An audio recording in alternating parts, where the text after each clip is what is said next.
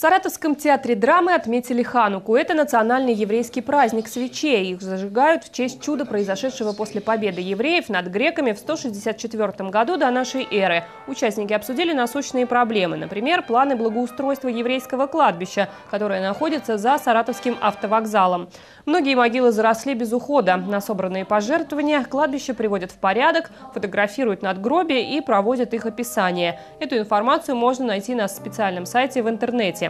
Основным же на праздновании Хануки стал концерт. На сцене выступили музыкальные коллективы. Так Бранд Брас Ансамбль исполнил композицию, в которой без труда угадывалась характерная еврейская мелодика.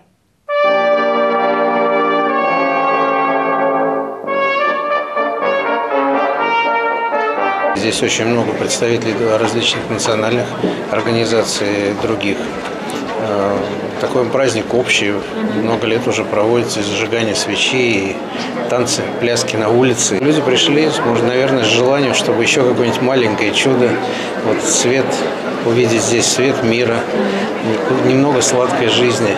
То есть все того, что сопутствует этому празднику.